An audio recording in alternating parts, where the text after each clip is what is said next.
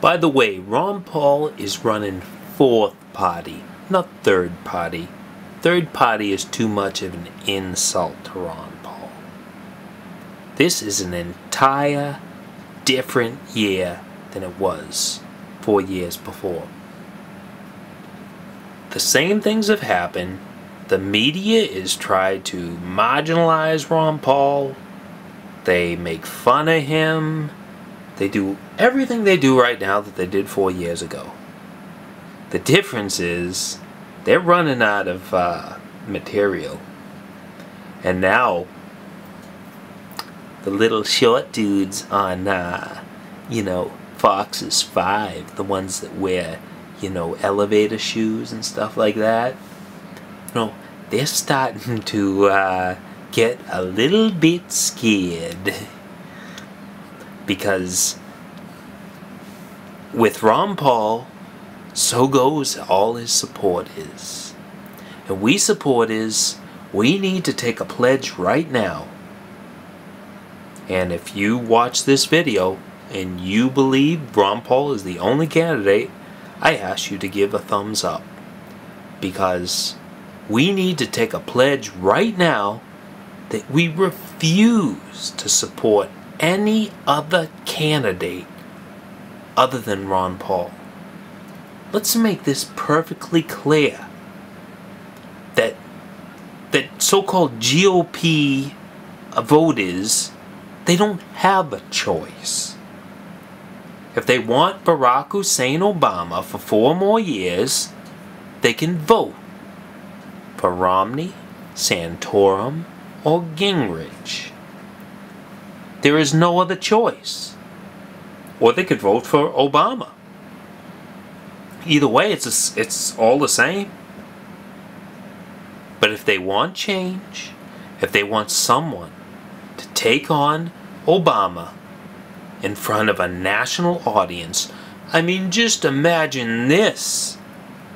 Imagine, imagine Obama sitting up there, you know, trying to defend, you know, uh, ending the wars and the change and all this, all this other crap he talked about. When Ron Paul calls him out, this is priceless. We need this as America.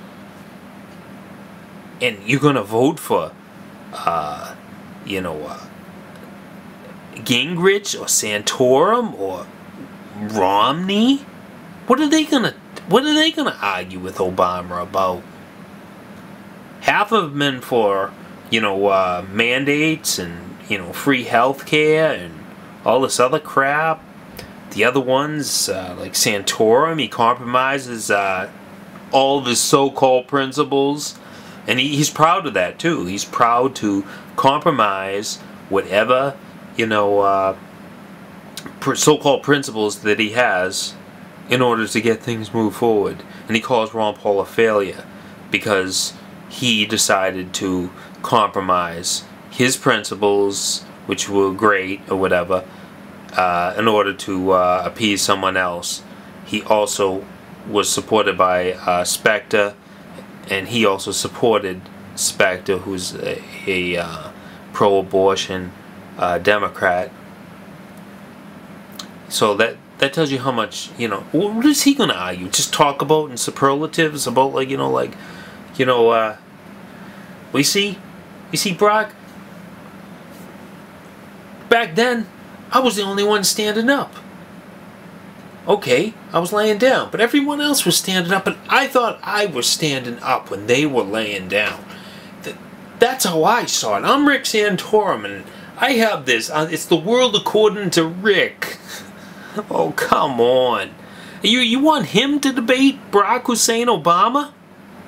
Or do you want Rick, you want uh, Newt Gingrich? We should build a colony on the moon. Or do you want Romney? What's Romney going to say? Ah, uh, free healthcare as uh, you know, socialized medicine. He invented it. How is he going to argue with Obama on that specific issue? He can't. Ron Paul is the only one that can take them all on. This is so simple. Someone pointed out the reason Ron Paul wins all online support is because online people have all sorts of information at their disposal to look up Ron Paul, find out what he's all about. They can look up all the other candidates and find out what they're all about. On television, Fox News, CNN, MSNBC, it's always tailored towards whatever candidate they're pushing. When was the last time you saw someone on MSNBC criticize Obama? Was it Cenk from Young Turks? He doesn't work there anymore, by the way. Um, do you think, uh, do you think, uh, I don't even know what her name is, Rachel Maddow? Do you think she uh, talks about, you know, Barack Hussein Obama in bad terms? Despite the fact he's, he's worse than Bush. We never thought anyone could be worse than Bush. How do you get worse than Bush? Take a good look at this ghost. That's the ghost of America. That is what we're facing. Death. Eternal, perpetual, looping death. If we don't correct things right now, we need a reset button. The reset button, button is Ron Paul. If you don't understand it, you gotta do your research. You gotta research all the candidates. You have to know exactly what they've done for the past 30 years. Once you arrive, or 30, mm, try like 40 or 50 years. Let's let's be fair. Once you arrive at that, you'll decide. You know, Ron Paul is, you know, you have some reservations about him, and you don't think he he'd be the type you'd like to have a beer with you know, hang around with. But that's just it. The President of the United States of America is not supposed to be someone who you want to have a beer with. He's someone you want mind in the store. Someone that you can trust. And that is who he is. And that is why you'll turn around and vote for him. If you research things, if you understand just it's something you have to it's it's just something that comes over you.